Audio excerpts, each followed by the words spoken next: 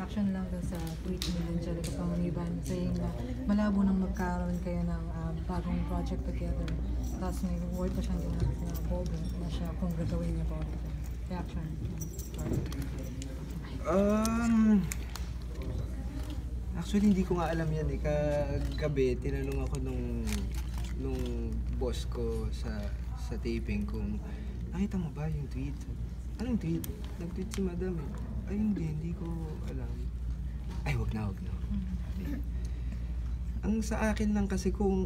Tahimik ka. Wait! Para sa akin lang kasi kung kung may apoy, di ba? Hindi mo naman bubuhusan na ng gasol yun para lumaki pa. Huwag na nating sigurong pahabain. Siguro yung yung emotions niya valid yun, di ba? Eh, kung yun yung nararamdaman niya, ibigay na natin sa kanya yun, di ba? Um, yun lang, ayoko nang pahabain. At saka tagal na rin, eh. ano, uh, six, se- seven months? Ganun na rin. So walang galit kay Angelica sa mga nabibitawan niya. Wala, wala. Ba- bakit? Bakit ako magagalit? Yes. Pero ikaw ginawa mo na yung part mo para at least kahit pa paano maayos naman. Nag-sorry naman ako, Ah. di ba? Sin- Sincerely, nag-sorry ako sa kanya and uh, ayoko, hindi ko kailangan mag-sorry in public dahil napaplastikan ako kapag gano'n.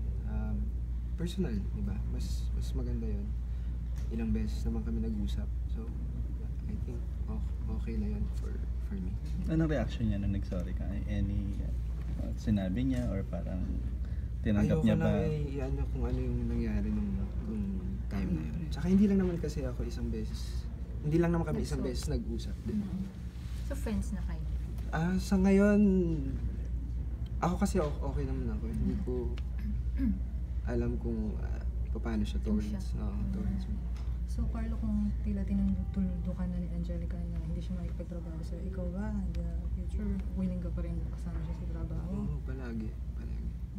Ah, isa siya, di ba, ilang beses ko sinabi, ilang ilang beses ko rin sinabi nga sa inyo na malaking bagay siya kung kung bakit ako nandito ngayon. So very thankful ako every day sa kanya. Any comment na nababalitang meron na rin daw siyang boyfriend ngayon, di ba?